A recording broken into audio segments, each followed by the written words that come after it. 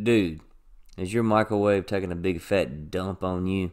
Are you starving to death because you can't heat up your pizza rolls? Me too. Let's fix this. Today I'm going to show you how to replace an over the range microwave.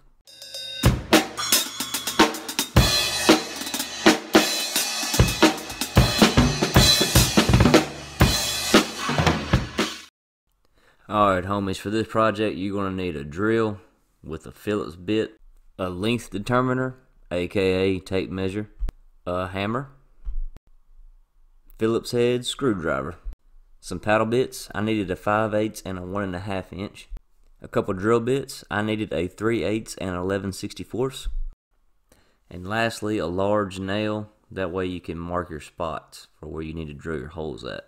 Now all these things might be a little bit different in your kit. This is exactly what I needed for the one I got. Alright, so the first thing you want to do is clear out the years of useless garbage you done put in the cabinet above your microwave. Once you get that done, you go ahead and unplug it. There should be a few bolts going through your cabinet into your microwave holding it to the cabinet itself. Go ahead and take your drill and remove these bolts. Leave one of them barely attached to keep your microwave from falling down and tearing up everything in your kitchen. Alright, once you get the two bolts out and you have the one bolt just barely remaining, go ahead and take the last bolt out. I use the power of my kitty cat surfing on a pizza shirt to help me do this. If you have friends unlike me, maybe you can get them to help you. If not, get you a kitty cat shirt surfing on a piece of pizza and take it out yourself. Microwaves are kind of heavy. They're not just insanely heavy though. But you can also cut the crap out of your hand like I did by removing this by myself. But they're held on by a bracket, so you got to drop the front and then pick up on the back to remove it. Next thing you need to do is unbox your new microwave. I don't really feel like I should have to go in depth with how to do this. Just take it out of the box. Simple as that. Alright, now you're going to have to remove the bracket that held your old microwave in. I thought I was going to be slick, get the same brand microwave and it would work. Well, I was wrong. There's a good chance that either one or two of the bolts holding your bracket in are toggle bolts so if you try to get it out and it just spins, you're going to have to get something to pry against the back of it and pull against your bracket while you pull it out to get the stupid toggle bolt out. Once you get all the bolts out, take your bracket out.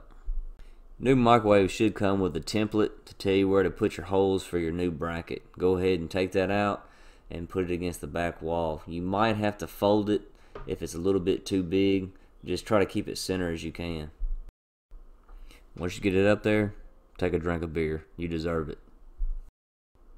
Your template should have some highlighted spots where it says you have to have a bolt. So go ahead and take your nail and tap it into these highlighted spots. That way it'll go through the sheetrock and leave a mark let you know where you need to drill. Now you can take your template off the wall. Put your bracket up there and try to line it up with the holes you made with your nail you should have a stud somewhere in the middle of the space where your microwave goes. So go ahead and find it and mark it so you know where to drill for it. Now you're going to go ahead and take your small drill bit and drill you some pilot holes where you you mark for your bracket to go. If you're lucky, you'll hit a stud. If not, you're going to have to use a toggle bolt. If you hit a spot that didn't have a stud behind it, you're going to have to take your 5 8 inch paddle bit and go ahead and drill it out through the sheetrock. If you got one that's got a toggle bolt, go ahead and put your toggle bolt through the bracket and attach your toggle bolt to the other side. I didn't do this because I had a brain fart. I don't know. I screwed up. But it's a whole lot easier on you to go ahead and put your toggle bolt through your bracket first. Then put your bracket up there, slide your toggle bolt through sheetrock, tighten it up, and then attach your other bolts that go through the studs.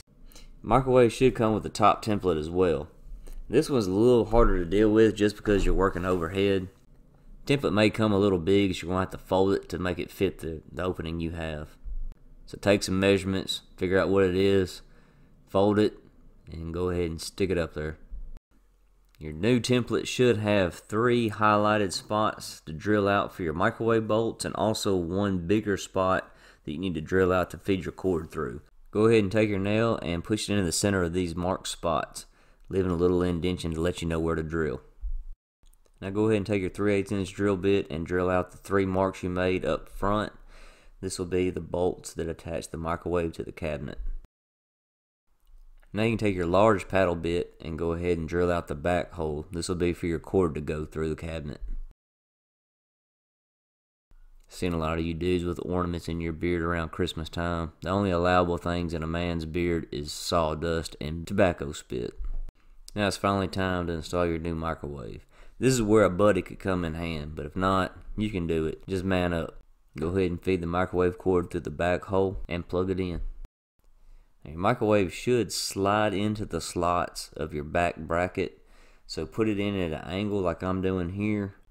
Make sure it slides into the slots and go ahead and push your microwave up until it gets all the way flush with the top of your cabinet. You also want to go ahead and pull the slack out of your power cord. Now once you get your microwave slid in place, go ahead and take your bolts and feed them through the holes that you drilled out into your microwave and tighten them up. Once you get all your bolts finger tight, go ahead and take your drill and snug them up. Once your microwave is firmly in place, it probably come with a bunch of excessive film, protective layers. You can go ahead and take all that crap off now. Now you can go ahead and add in your little rotator thingy that your glass sits on, your glass, and it probably come with a couple filters on the bottom of it and you go ahead and put them bad boys in. Set the clock and that is it my friends. Time to drink a beer Stand back and look at your fine work you just did. Break out them hot pockets or taquitos and zap them suckers. I hope this video helps somebody. Please remember to like and subscribe and leave me a comment down below. I'll see you in the next video. I didn't mean to rhyme, but sometimes you gotta go with the flow. But now I'm done. Ho.